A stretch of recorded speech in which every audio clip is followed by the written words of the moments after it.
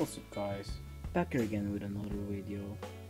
Today I'm going to talk about how to get through the like the wrong message on Call of Duty World War II when they say their service is not available and you got that wrong message.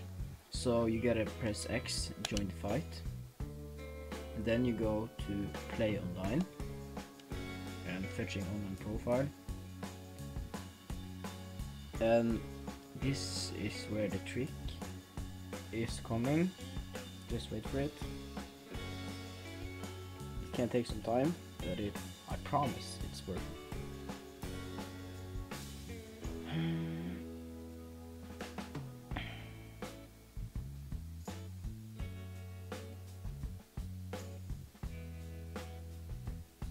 So I think it's coming through soon. It's just a trick, so it's taking very long time. Um,